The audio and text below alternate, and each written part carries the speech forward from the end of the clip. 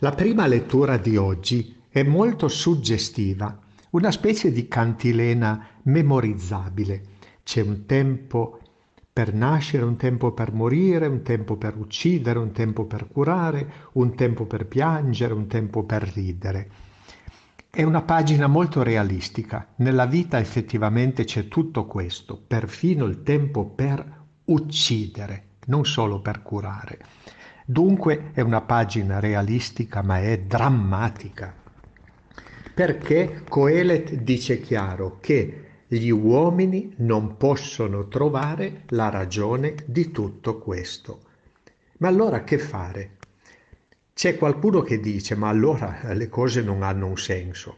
Invece c'è chi legge tutta la pagina di Coelet e dice, però Coelet dice anche che Dio ha fatto bella ogni cosa.